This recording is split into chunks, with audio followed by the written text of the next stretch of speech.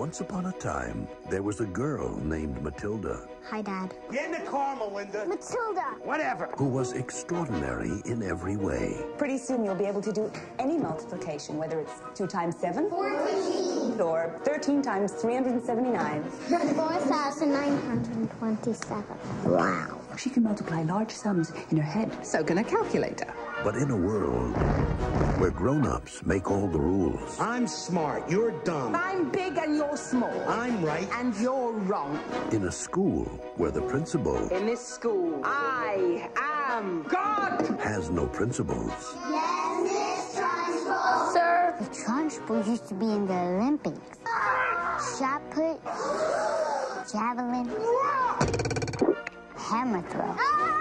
she will discover Somebody's gonna teach her a lesson. deep inside herself You should believe in whatever power you think you have inside of you. a secret weapon I said with my powers. to even the odds. No more Miss Nice Girl. Hey, dip face, have a carrot. Nah, you eat it. Now, Cookie.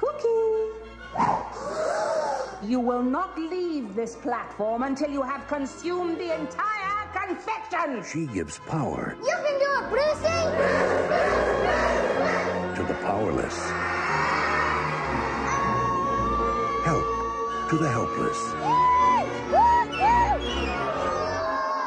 Harry, take your hat off. I can't get it off. and disaster ah! to those who deserve it.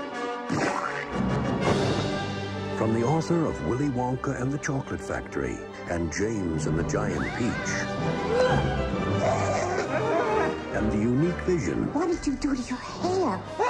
of director Danny DeVito, comes the story of every kid's right to stand tall, no matter how small. Matilda.